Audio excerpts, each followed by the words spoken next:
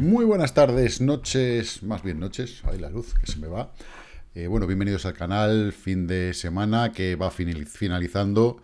Julio ha empezado bien, ahora un fin de semana así un poquito de retroceso. Es normal, después del impulso que habíamos tenido, que tuviéramos un retroceso.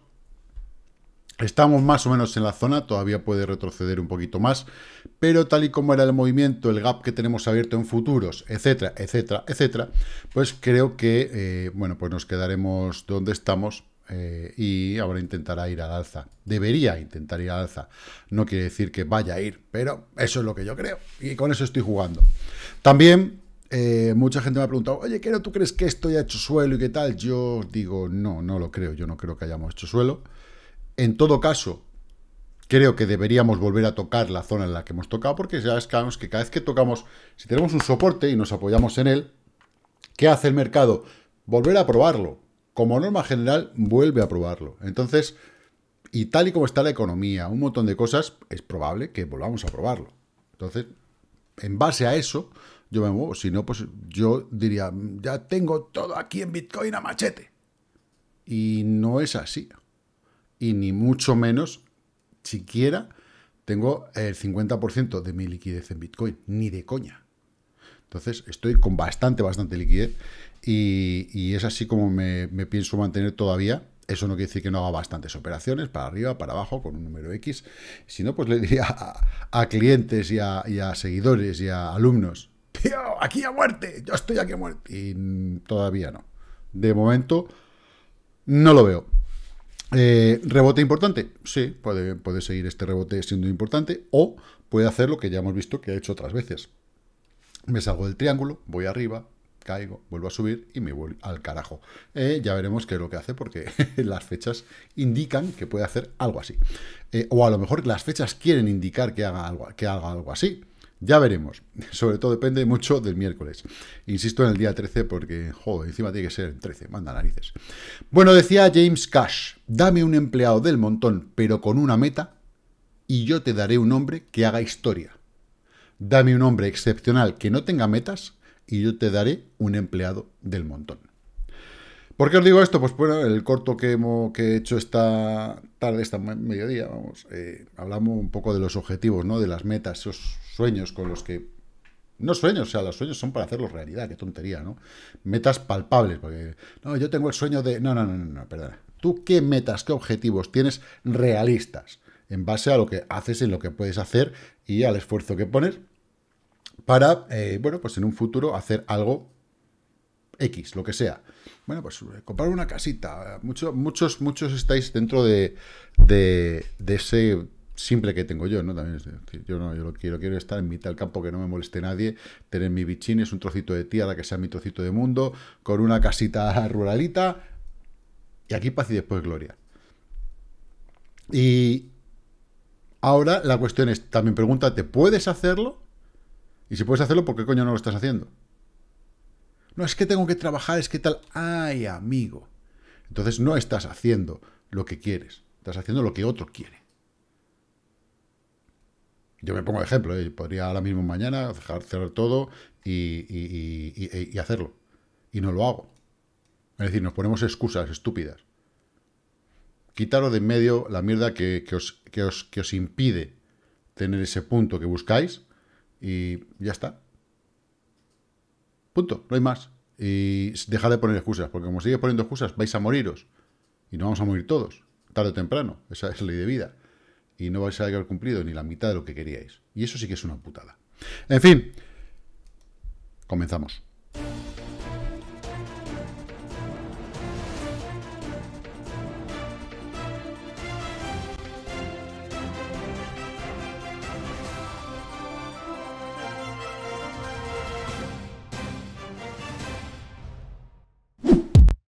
Suscríbete y dale a la campanita. Bueno, pues ya estamos aquí, Bitcoin en una hora, subiendo, subiendo, subiendo, atacando la EMA 20. Vamos a ver si cierra correctamente por encima de ella y puede seguir avanzando. En principio, futuros del CME cerraron en 21.830. ¿vale? Con lo cual todavía tenemos un gap bastante amplio de 700 dólares. Ha estado el gap bastante, mucho, mucho más amplio, más de mil, más de mil dólares. Ha sido un gap bastante interesante. Pero bueno, se está corrigiendo poquito a poquito, va despacito, se hace de rogar, porque claro, eh, hace falta un poquito de volumen, hace falta alegría para que esto suba, porque bueno, el volumen tampoco esté para tirar cohetes. De momento, y eso que es Binance, eh, que está con la... Me decían, no, este volumen es de verdad porque Binance está haciendo no sé qué, historia de sin comisiones y eh, no sé, cosas de esas, ¿no? Entonces, bueno, pues, pues no está mal. importante, ¿veis la línea de tendencia que tenemos aquí en el RSI? Toque, toque, toque tenemos que romperla para ir al alza. Si no somos capaces de romperla, ya sabemos lo que hacemos. Entonces, es la que tenemos que vigilar ahora mismo. Ya sabemos que el precio es importante, pero lo que nos dice aquí también, si en la siguiente hora lo rompemos y nos vamos para arriba, oye, fantástico, porque va a ser un símbolo de potencia. Más potencia, más gas, ¿dónde lo vamos a ver? En nuestro querido Alerts. ¿Veis que tenemos toda esta franca roja que ha hecho en una hora? Bien, pues a partir de que empiece a pasar de la línea morada y en el momento que pase la línea roja, esta línea punto roja que tenemos aquí, empiece a subir por ahí, pues nosotros nos iremos a seguir volando. Eh, esto es una hora, evidentemente, una hora no marca el rumbo, pero bueno, es un inicio, es un zoom que acabamos de hacer.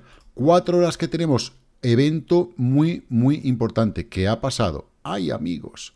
Este cruce entre la media de 50 y la media de 100, la media moradita y la azul clarita, se han cruzado al alza. Esto es un eh, indicador alcista.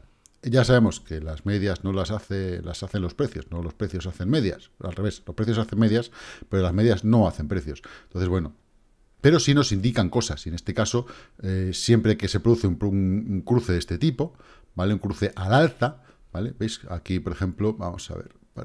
Es que aquí, claro, no es, no es el, el momento más, más adecuado.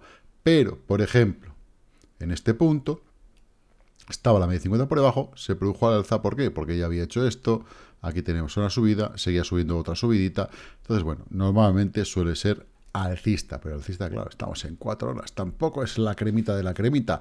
Lo importante que es, en diario y en diario estamos aquí peleándonos con la EMA 20, súper importante, la pasamos, tonteamos un poquito por encima, viernes y sábado, y hoy domingo, ay, ay, ay, que la pierdo, espero, espero que cerremos por encima de ella, pero más importante que esto, tachan, está la vela semanal. La vela semanal muy importante, ¿vale? Primero, veis el volumen, prácticamente el doble que las dos semanas anteriores y tanto volumen como esta pedazo de vela del 22,5%, que se nos fue bastante más la mano, se nos fue a un 30 y tantos por ciento, o un 40, a ver cuánto fue al final esta caída, eh, hasta el mínimo fue de un 34%, ¿vale? Entonces, bueno, importante y tenemos tanto volumen como esta caída. Eso es muy bueno. Ahora, mejor sería que cuanto más arriba cerrásemos por encima de la vela anterior, la abracemos, aunque ya le estamos haciendo sombra, ¿vale? Simplemente estas mechas son válidas, cuidado. Cuando decimos, es que la tiene que abrazar tal, ya, pero estas mechas hacen sombra a la vela anterior y eso es muy, muy, muy bueno. ¿Vale? También es muy bueno que no tenemos demasiada mecha por debajo. Eso quiere decir que los toros han ganado la batalla de forma continua a lo largo de toda la semana, eh, en el cómputo semanal, ¿vale? Entonces, bueno, vamos a ver en qué punto lo cerramos. Si lo cerramos por encima de la zona de 21.822, pues estaría bastante bien. Pero bueno, interesante, ¿veis? Por encima, si ya lo cierra por encima de la mecha de esta 21.500 y pico, estaría ya, eh, a partir de ahí, digamos, ya nos podemos pegar con un cantazo en los dientes. Así que bien, en principio bastante bien la, vela semanal y que está haciendo una velita harami, en principio, eh, mensual, vamos a ver si sigue subiendo y es capaz de atacar la zona de 23 y medio. Estaría bastante, bastante interesante. ¿Por qué? Porque mensual estaríamos pasando la media de 50. Es una media bastante chunguita. ¿Vale? Y es importantísima pasarla. Igual que en semanal, nuestra media de 200, que es la que hemos tocado, y según la hemos tocado, hemos dicho, ¡ay! ¡ay! Entonces, yo no creo que esta semana la vayamos a pasar, sinceramente, pero a ver si la si esta semana avanzamos y la siguiente es una semana positiva y la podemos pasar, pues estaría bastante bien. Por lo menos un ataque a esta línea de tendencia y luego Dios tira. ¿Vale? Pero sería un puntazo la zona de 25 y pico. Bien, Dicho esto, ¿qué pasa con la dominancia? La dominancia está ahí perreando, perrea, perreado y está bajando, pero al final como Bitcoin empieza a recuperarse un poquito, empieza a subir un poco la dominancia, cuidado porque los que estéis tradeando Bitcoin contra altcoins, las altcoins pueden, pueden sufrir un poquito. El títer está descargando un poquito a la baja, ha estado bastante mejor a lo largo del día y bueno, como Bitcoin empieza a recuperar esa senda un poquito al alza para cerrar ese gap, bueno, pues a ver si, si lo cierra y se resiente un poquito, si pierde la media de 50 y se va al carajo, por Dios. Y nos da ahí un poco de respiro. Bueno, en cuanto a las altcoins, tenemos, eh, por ejemplo, Cardano, que es Tardano, ya os voy a poner un par de ejemplos que hay por ahí que son interesantes en base a esto. ¿Vale? Veis que tenemos la media, la EMA 20, esta línea naranjita, con nuestra línea nitro, que están a punto de cruzarse, ¿vale? Esto significa que nos van a hacer aquí una pelotita verde, y luego esta línea de medias, nuestra línea de medias que está verde y está alcista, eh, nos dará una crucecita. ¿Eso qué significa? Que es en tres largos. Eh, ¿Para qué? Pues para ir hasta la EMA, hasta, bueno, a la media de 50. Primer objetivo. Eh, esto hace, veis que hace como dos suelos, un suelo, dos suelos, aunque ya marcó uno, dos, tres, cuatro en la zona, está bastante bien nos marca una especie de W, ¿vale? Entonces, una vez que pasemos esa zona, desde donde estamos ahora mismo, por ejemplo, hasta la de 50, estamos hablando de un 8% que está bastante bien. Si pasamos a la siguiente fase, nos iríamos a un 14,5%, pero el objetivo estaría aquí para hacer esa W un 35%. Sería bastante, ostras, si llega hasta ahí arriba, estaría potente. De momento yo me conformaría con que pasase un poco la media de 50 y se viniera al punto en 0,53. Está bastante bien. Eh, si vamos a ganadoras perdedoras, pues veremos, por ejemplo, que las ganadoras, eh, por ejemplo, PERP, veis que tiene un suelo, dos suelos, tenemos esta media naranjita que ha cruzado ya la blanca, eh, está empezando ya a tirar al alza a buscar la media de 50. Por ejemplo, vemos a IOTA, que igual, un suelo, dos suelos, la media naranjita, ya ha cruzado la blanca, un punto verde y una cruz roja, amarilla, y para arriba, a por la media de 50, toque. ¿vale? Tenemos, por ejemplo, sushi, tres cuartas de lo mismo, un suelo, dos suelos, la línea naranjita ha cruzado la blanca, uno, una bola, un círculo verde y una cruz amarilla, y a la media de 50. Pues eso es, por ejemplo, lo que Cardano todavía no ha hecho porque es tardano, a ver, entonces lo hará, ¿vale? esperemos, eso es lo que creo, ¿vale? Si vamos hasta inclusive Chile, fijaros, Chile, ¿vale? Un suelo, dos suelos, la línea naranjita ya tiene la pelotita eh, verde y la cruz eh, amarilla, y ahora ya está, ya ha tocado la media 50 y incluso la ha sobrepasado, pero bueno, ahí tiene que romperla. Entonces, objetivo está en 0.12, 0.13, ¿vale? Este máximo que hay aquí, la W, ¿vale? Si vamos, por ejemplo, atrás a la sushi, ¿vale? Ves que la W está aquí arriba, 1.6, V doble, plaf. Eh, si vamos a IOTA, la W está igual, aquí arriba, donde comenzó todo, en 0.36 aproximadamente, pues caída W, vértice, W arriba. Eh, y así muchas. PERP, tres cuartas de lo mismo, ¿vale? Está aquí arriba, está en, en 1.27, más o menos, ¿vale? Vértice, arriba, arriba. Y así hay muchísimas. Entonces, echarles un ojo y a cada uno eh, la, que le guste. Eh, Crypto.com, por ejemplo, ¿veis? ¿Dónde está la W? Está en 0.17, 0.18, ¿vale? Tiene que caer, vértice, arriba. ¿Veis que ya se han producido los primeros cruces? Ha intentado salir al alza aquí, no pudo. Tenemos el cruce, ahora está empezando a ir a verde. Pues objetivo, la media de 50. De momento, el primer objetivo siempre es el vértice, ¿vale? Entonces, de donde estamos hasta el vértice, tenemos ahí un 6 y pico, hasta la media de 50 un 16 y si cierra realmente todo ese cotarro de la W es un 47%. ¿Nos dará tiempo? No lo sé porque ya sabéis que ahí viene el día 13 con esas noticias que van a dar, si las noticias son buenas, no me cabe la menor duda que va a volar todo, no solo esto, sino todo el mercado. Ese rally veraniego que mucha gente está esperando, pero no sé si la realidad del mercado nos meterá un bofetón y ya veremos a ver qué narices es lo que pasa. Por ejemplo, Tezos, ¿vale? Veis que tenemos igual, W, ya ha pasado exactamente igual, la línea naranjita con la blanca, cruce y cruce, ya nos da las dos señales, ya por la media de 50, una vez que rompa la de 50 junto con este máximo relativo anterior, ¡pam!, a cerrar esa W.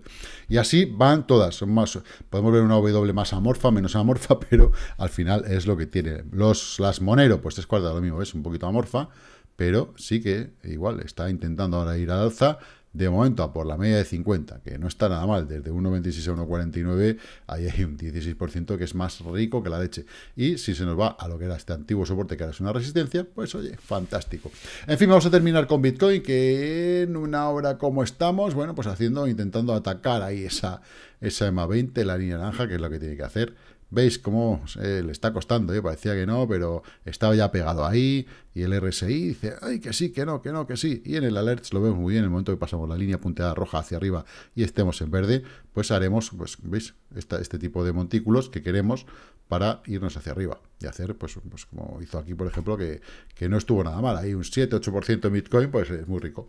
Así que bueno, vamos a ver si es capaz de hacerlo, si cierra ese gap que tenemos con el CME y qué tal el CME, con qué ganas abren en Estados Unidos en Chicago, de día o de noche, pues eh, a ver si, si hacen alguna cosita maja. Entonces, bueno, como digo siempre, chicos y chicas, invertir con mucha cautela, guardar liquidez y que la paciencia os acompañe. Chao, chao.